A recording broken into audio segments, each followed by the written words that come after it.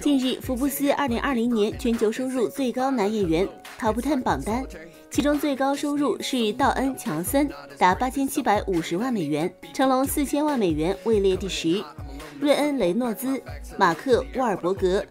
本·阿弗莱克、范·迪塞尔、阿克谢·库马尔、林·曼努尔·米兰达、威尔·史密斯、亚当·桑德勒均在列。许多名人因为网费的支付而获得了巨额收入。由于很多电影是在疫情导致好莱坞电影产业停摆之前拍摄的，所以这些演员仍然能够挣到他们的薪酬。